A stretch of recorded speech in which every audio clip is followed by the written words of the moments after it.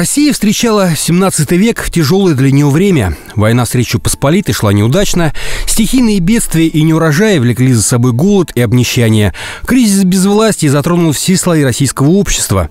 Не зря этот период нашей истории получил название «Смутное время». Воспользовавшись ситуацией, польские интервенты смогли нанести тяжелый удар нашей стране. Больше 10 лет не утихали войны и конфликты внутри страны при участии иностранных захватчиков.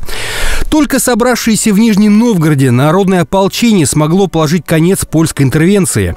4 ноября под предводительством нижегородского воевода Казьми Минина и московского князя Дмитрия Пожарского ополченцы успешно штурмовали Китай-город, вынудив гарнизон польских интервентов сдаться. Это был поворотный момент в отечественной истории.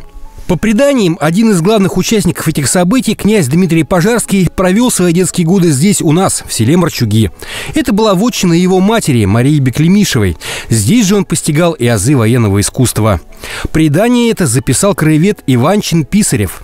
«Приятно слушать предания местные, когда они кажутся согласными с исторической истиной. Здесь, в селе, осталось памятным, что, вероятно, здесь взрастал бессмертный князь Дмитрий Михайлович под надзором матери, которая внушала ему благородное честолюбие вместе с высоким чувством патриотизма. Эпоха смутного времени осталась для России тяжелым испытанием. Стоял вопрос о существовании страны как независимого государства. Семибоярщина встала на путь откровенного предательства Родины и православной веры.